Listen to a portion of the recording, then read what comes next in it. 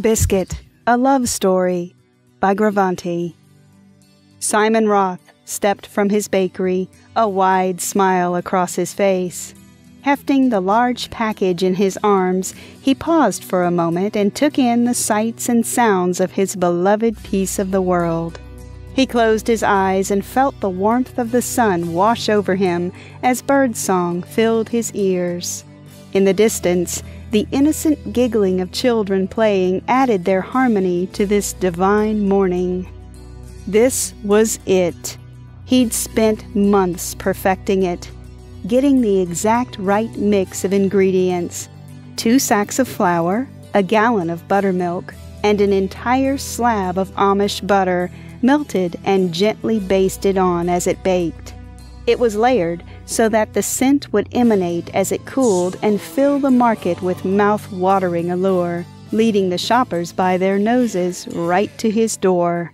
A dark shape darted in front of the store window, pausing in front of the giant biscuit, glanced up with a wild grin and locked eyes with the baker. Then the homeless man scooped it up and ran back the way he'd come.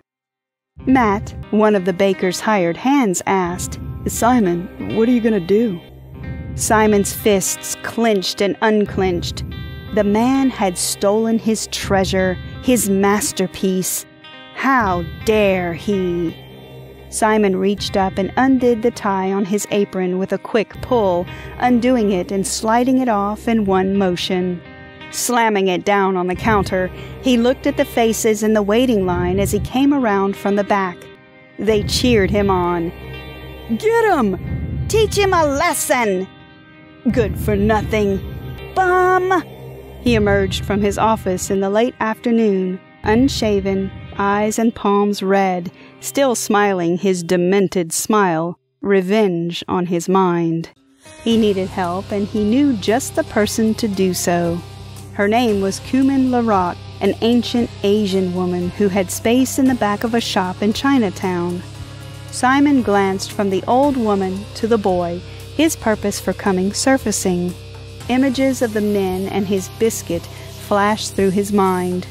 He clenched his jaw, lips wrinkling together as he forced the words from his mouth. I'm in need of some special ingredients. I need. He paused, holding his breath, uncertain. He stared into the eyes of the old woman, her small, dark pupils studying him. Uh, poison, Simon finally let out. The old woman leaned forward, her face just inches from his. She wore a wide grin, revealing many missing teeth.